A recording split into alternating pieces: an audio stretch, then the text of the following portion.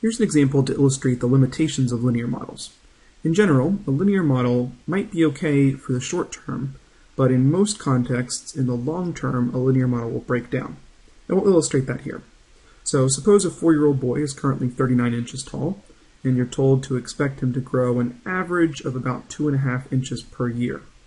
These are reasonable numbers, and we don't see a problem right away. But if we set up a growth model and project forward in time, we'll find that eventually this model stops making sense. The general linear model, again, looks like amount at any point in time is the original amount plus the growth rate times the amount of time that's passed. In this case, the boy's height is equal to his original height plus the growth rate times the number of years that have passed. Notice that here we're implicitly picking the current year to be year zero. Our initial height is the height right now, and then t will be measured in years from now. Again, at first we don't see a problem. For instance, if we predict forward two years, so to when he's six years old,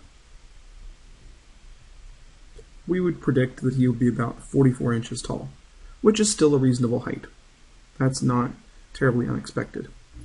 But what if we predicted until he was 50 years old, let's say? So we'll predict his height at t equals 46, 46 years after he's 4 years old and plugging in 46 for t, this model predicts that this boy will be 154 inches tall by the time he's 50, which is almost 13 feet tall. Of course, that's nonsense, and the point is that this linear model doesn't continue to hold true throughout his entire life. Obviously, he'll grow for a little while, hit a growth spurt, and then eventually his growth will stop when he reaches his adult height. So linear models can be good in the short term, but often in the long term, they give results that are unsustainable.